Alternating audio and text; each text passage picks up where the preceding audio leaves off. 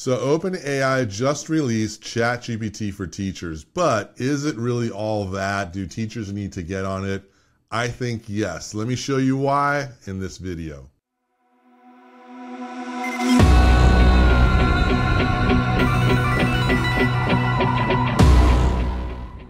Okay, so I was on a call with OpenAI last week as they announced this ChatGPT version for teachers. Many of you know I am uh, fanatical about using ChatGPT. It's changed my life in many ways and given me uh, the flexibility, the creativity to do just so many things. So you're going to want to go to OpenAI slash index slash ChatGPT hyphen for hyphen teachers. And that'll take you to this page here and it's a free version of ChatGPT that's built for teachers. What's nice is that it gives you a secure workspace to work in. There's going to be a ton of features. I'm going to talk about those in a moment. You have to actually be verified to play with this thing, to get in here, to use it. So it's not just for anybody off the street. So before I get into it, let me just read off some notes here about what's coming down the pipeline, what's already there and then we can dive into some demos. So ChatGPT for teachers, it's a safe K-12 workspace. There's no student data used for tracking, is no, it's not stored, any of that. The safety settings are locked by default. So in case you didn't know, there were safety settings in the in main uh, ChatGPT that I've done videos on and showed people how to turn off so that you don't get your chats uh, used to train the model, which you don't want. As a teacher, that is.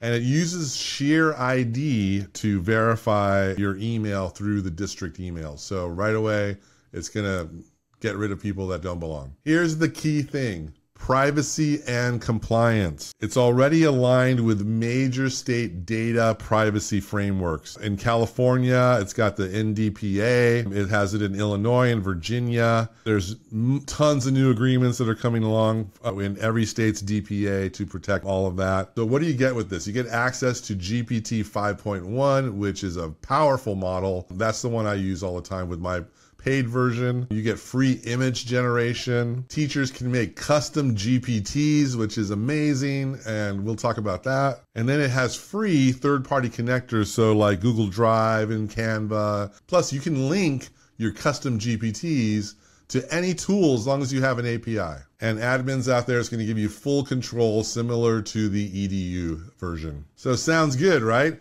What's not included at launch? There's no agent mode. So that's okay. I have the paid version. I have agent mode. It's amazing. But as a teacher, I would love that down the pipeline. Maybe it's an add on, but it's definitely useful to have an agent mode doing things for you while you're doing other things. There's no deep research for this, so it's not there yet. Maybe they're going to add that. I'm not sure yet.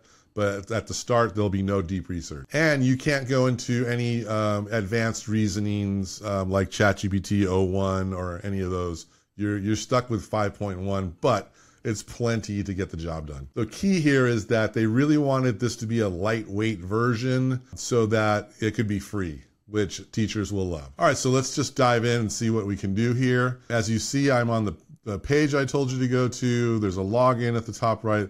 There's get verified here. Once you click on that, it's going to take you to the SheerID. You have to put in all your information, uh, your school ID, and uh, you're good to go. Okay, so this is ChatGPT for teachers. You can see it up here. The flagship model is GPT uh, 5.1. Uh, now here, similar to the other chat uh, GPT, you've got your uh, ability to ask right here anything you want.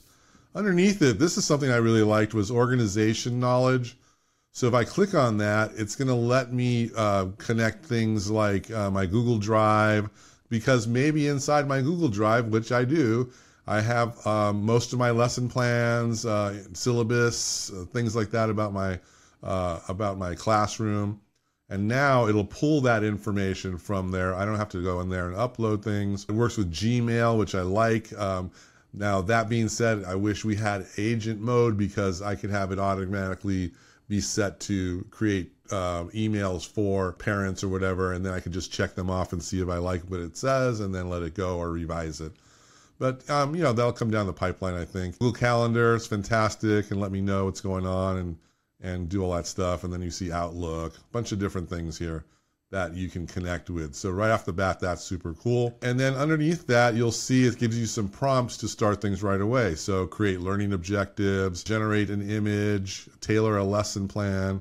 You can click this little button here and it'll change things for you as well which I think is really great. All right, so down here it says invite your district's teachers for free. So that's nice. You can just click on this and you'll invite them. You can do collaboration from other teachers in the district. That's what's really nice. The First thing I want to do here, if you're new to this or you're just not really a power user yet, um, and you're just like, oh, what do I do with this tool?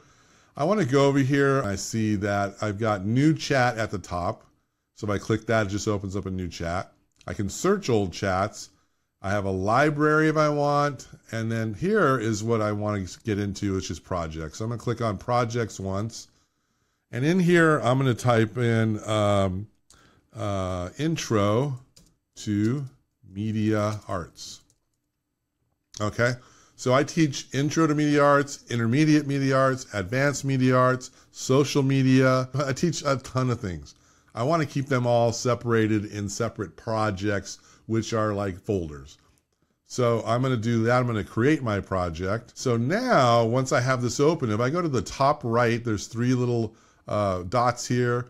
I want to go to add instructions. And this is really powerful. So I'm going to do, um, uh, this is for, uh, let's see, this is for um, a high school uh, intro to media arts course. We use iPads and iPhones for creating content etc., etc.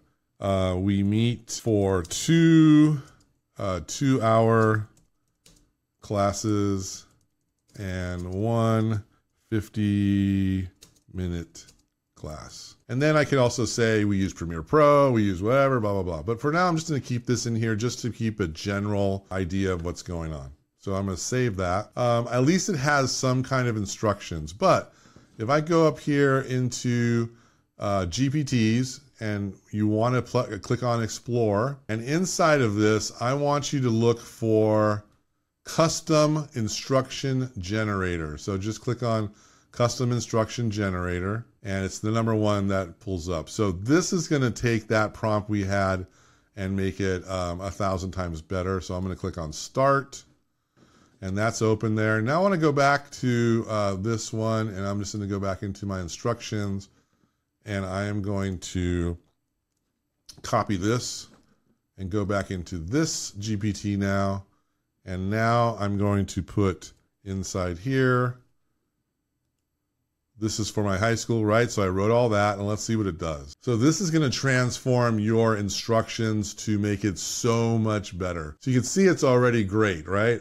Age appropriate for high school students, aligned with introductory level media arts goals, etc., etc. I'm going to go back and make one little change. So if you see up here, um, I can hit this little edit message button. So I'm going to write this is a CTE elective class. And I'm going to go boom and let it redo it now based on that it's a CTE elective. See, it says right there, it's great. Now it knows even more about this.